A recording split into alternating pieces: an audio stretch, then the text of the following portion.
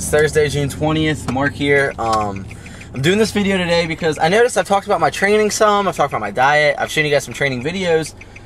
I haven't gone over what my current training program is and what I plan on using for pretty much the entirety of this prep, just because I like it and it allows me to do pretty much everything I want to. So, uh, I call it a progressive power hypertrophy training system.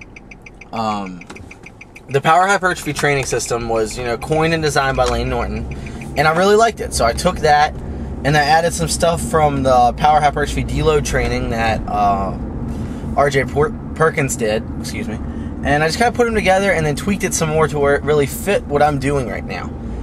And so what it is is if you're not familiar with power hypertrophy style of training, it consists of two power days to start the week, a day off, and then three hypertrophy days. Within those two power days, um, in Layne Norton's program, it was an upper and then a lower day followed by an off day, and then three bodybuilding style days. His days differed a little bit from how I do mine, um, but basically what it is is some variation of like a pull push legs day, and then another off day, and then you begin it again. On his heavy days, he just not specific numbers. He just goes heavy, you know, sets a five to seven or so on his main movements, and then you know six to ten rep range on all the accessory work. What RJ Perkins did was he liked this program, but he wanted to incorporate some of that 531 stuff.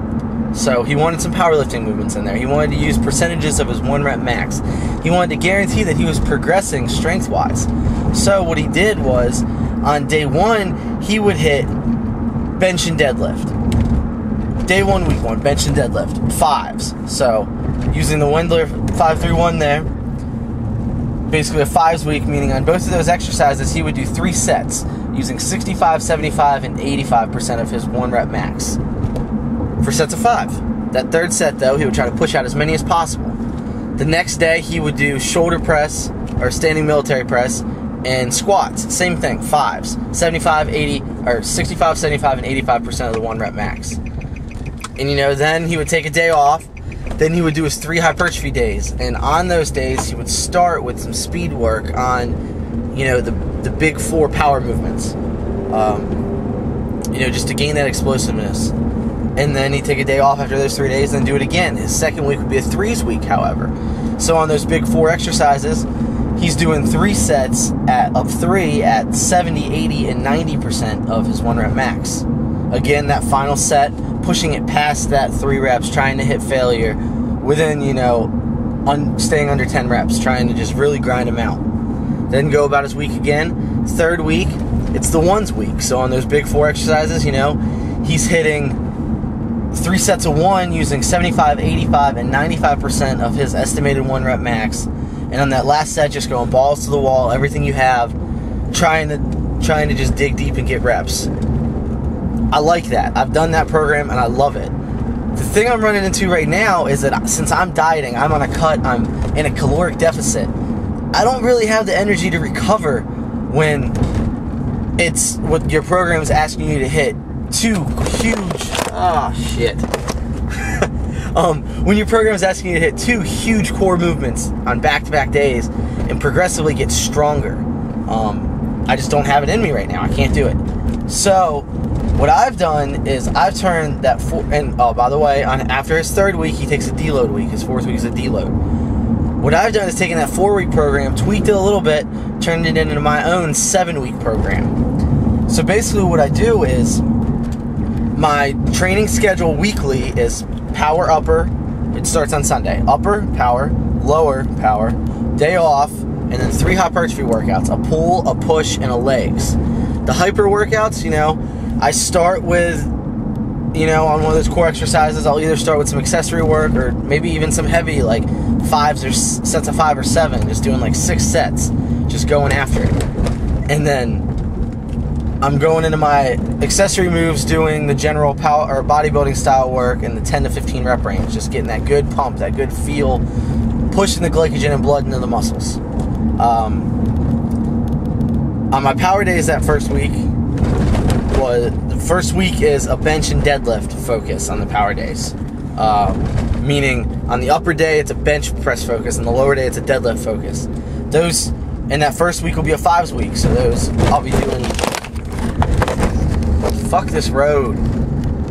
Anyway, First week there is a fives week, so I'm staying in the rep range where I'm knocking out, you know, um, three sets of five reps. That last set, I'm going for more. Second week, everything stays the same except this is a B week, meaning um, the power upper day is a shoulder press, a standing military press, and the lower day is squats. Fuck this camera right now. I guess that's better. Um, and the lower day is squats. Again, a fives week, and then you take a day off and go at it. And then weeks three and four are both threes weeks. During these three weeks, I gotta fix this camera, guys. Hold on a second. There we go.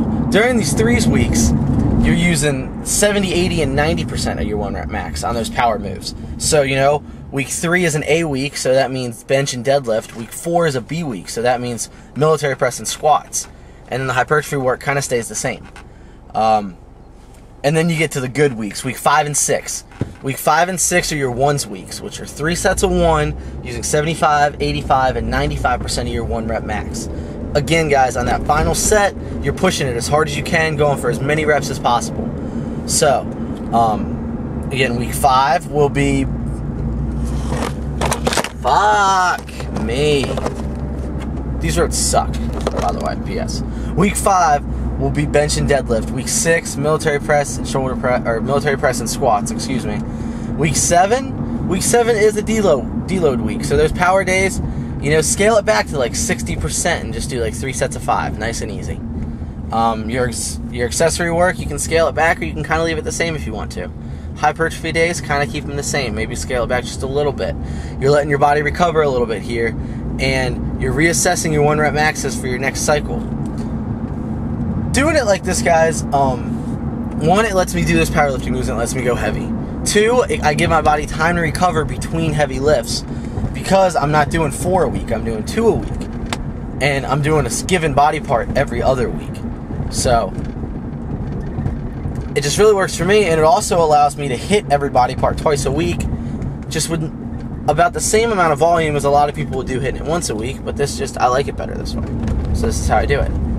So guys, that's my training system. It's uh, I call it progressive power hypertrophy only because the segments at weekly or bi-weekly or bi-monthly, or however you fuck you say it.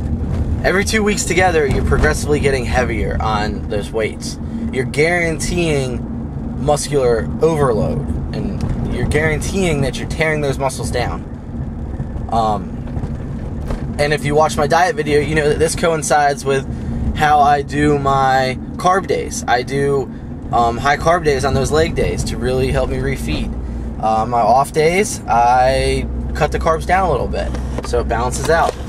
Um, cardio wise, guys, um, I'm just doing 250 calories of low intensity intensity cardio um, four days a week right now. So about a thousand calories a week. Uh, sometimes I do five, you know. So 1250 a week. Um, and that's it.